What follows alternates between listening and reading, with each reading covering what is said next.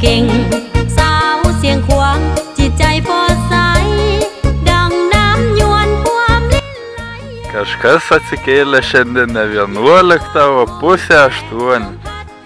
Nu ir ką, ir nenumirėm.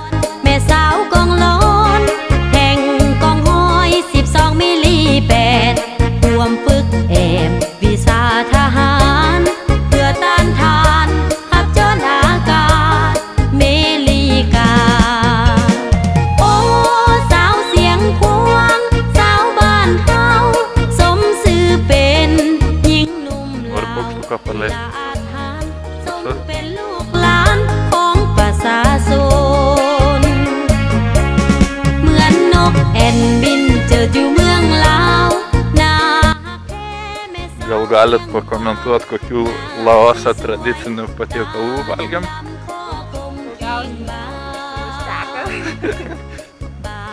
valgiam po kokias atynas su maštekas jau. Tipo galima nusipirkti mažą narvelį su dviem paukščiukais ir juos paleisti į laisvę.